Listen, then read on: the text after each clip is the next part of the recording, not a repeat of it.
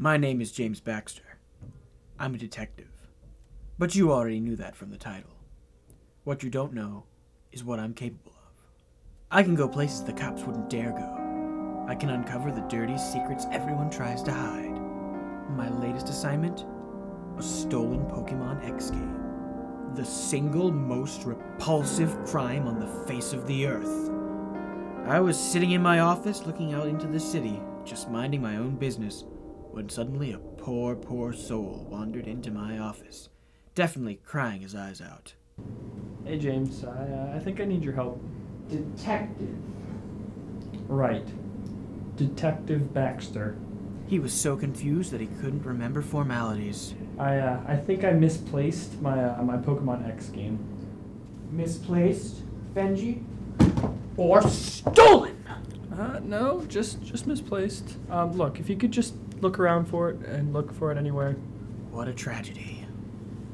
Whatever it takes, Benji. Whatever it takes. Thanks.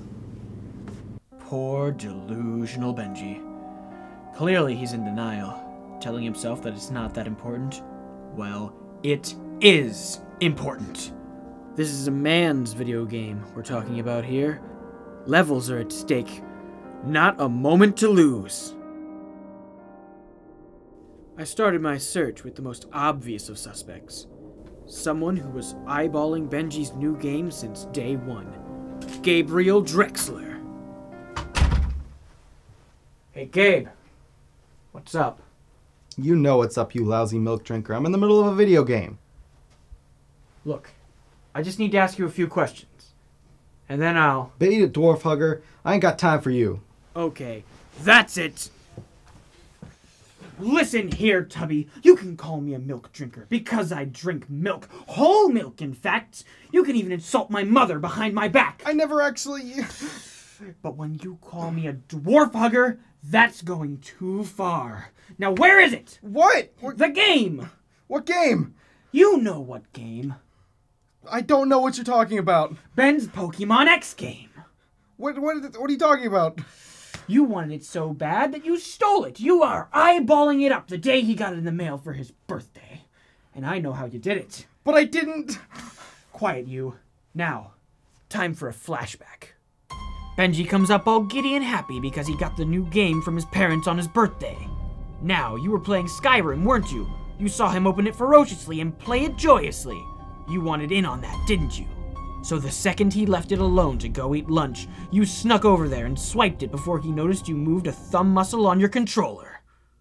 How do you like that? Okay, it's true. I played. Uh, I, I envied his game. I've been playing through Skyrim so much. I did everything that I could. You know, I just needed something new to play. I did go over to look at the game, but I didn't steal it. It wouldn't be right for me to do that. I swear it. I don't believe you. I'd never do that. I swear by the gamer's code. I wanted to call him a liar, but I couldn't. The gamer's code is unbreakable, a sacred trust. Even I knew that. According to the gamer's code, section 3, paragraph 5, if a man swears he didn't do it, he didn't do it. This doesn't make any sense. If Gabe didn't take the game, then who did? Of course!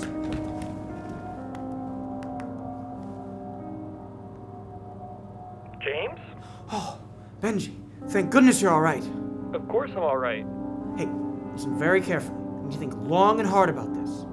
Did you lend Alex Fitz your game? Yeah? Why? Wait. Hold on, Benji. Hold on.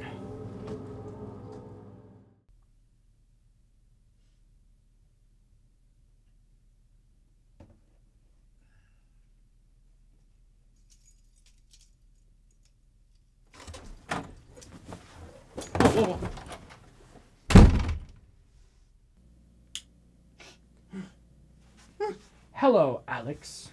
James? What what's going on here? What the hell? Oh. Ow. Ow. You know what you did, and now you're gonna pay for it. Okay, look. I know I said I'd pay the full 15% tip, but Oh, I cut the said- crap! Did you really think you would outrun justice? Justice never tires. Okay, well, James, James. Okay, let's just calm down for a second. Oh, that's Detective James Baxter, you criminal scum! Criminal scum? Don't you play dumb with me, Fitz. I caught you red-handed playing Ben's game. Admit it. You stole it. You're, you're insane. Am I? Or have I just caught you in your own web of lies? What? I know you stole the game, and I know how you did it too. He lent you his Pokemon game so that you could try it out. Once you tried it, you had to have it. It was too much fun. But it was too hard for you, wasn't it? So you went and bought yourself a game guide to get through the story mode, like a rookie would. That's not true. Oh, isn't it? Okay, you caught me. I did buy a guide for the game, Aha! but I also bought my own copy of the game, James. What? Look in the book, there's a receipt. I've been using it as a bookmark, I swear.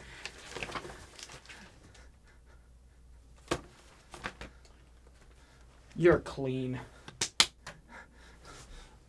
For now. Don't leave town. What? What? Are, aren't you gonna untie me? Who could have done it? Who could engineer a plot so twisted, so messed up, so unnecessarily difficult that only I, James Baxter, detective, could solve this case? I don't understand. I've checked everywhere I could think of. I've cross referenced everyone's story, and I've crossed out all the names on the list. Except one. Think about it. Who was the only one who had access to Ben's video game 24 7? Who was the only one who knew what lengths I'd go to find it? Who was following the case step by step right behind me? And who knew that I would eventually catch up to him? It was you!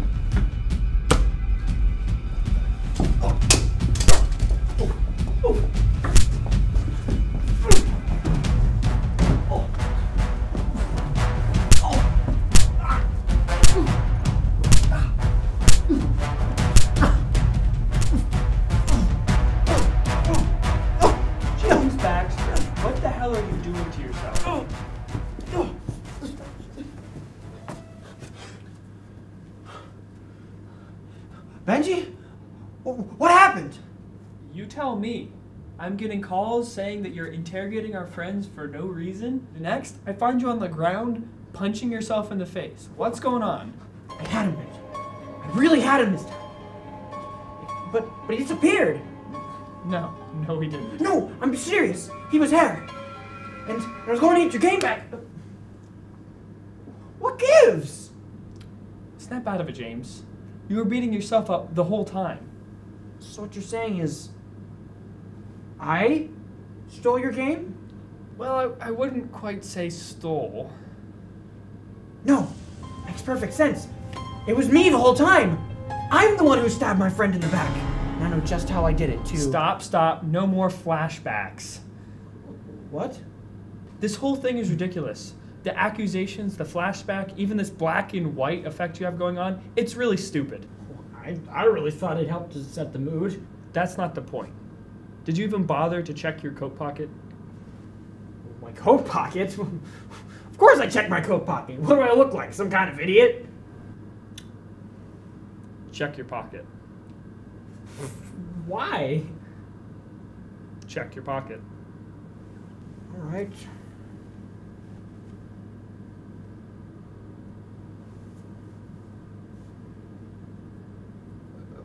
But how?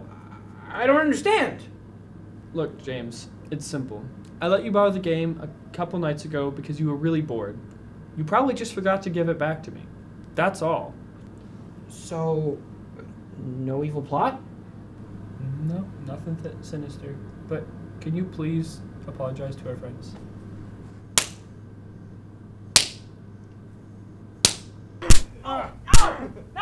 Well, there you have it. May not have been my best moment as a detective, but in the end, I did find my friend's video game. And in the end, don't the ends justify the means? No.